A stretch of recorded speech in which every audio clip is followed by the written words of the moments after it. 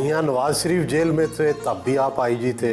उनके भतीजे की हुकूमत आ गई तब भी आप आईजी जेल खाना जात रहे। आपसे किसी ने इंतकाम नहीं लिया? जब आप प्रोफेशनली डील करते हैं सब लोगों को जो आपकी रिस्पॉन्सिबिलिटी है कानून के तहत तो कोई भी आपसे विंडिक्टिव नहीं होता। दस सालों में मैंने यही सीखा कि लड़ाई झगड़े से बहुत ही दूर रहना है बहुत ही ज़्यादा दूर रहना है।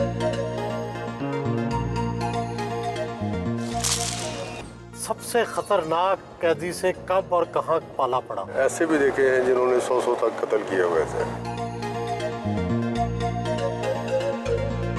हमारा बेसिकली सेंट्रलाइज्ड कंट्रोल रूम है। कि पंजाब की तमाम जेलों को हम यहाँ से लाइव मॉनिटर करते हैं ट्वेंटी फोर बाई सेवन कैदियों को जेल के अमले से ज़्यादातर करप्शन की शिकायत है। बैंक का सिस्टम हमने सिंक्रोनाइज कर दिया है जेल के सिस्टम के साथ। जेलें जो सी हैं वो कैश फ्री होंगी ताकि ना किसी के पास पैसे हों ना कोई दे और ना कोई मांग सके।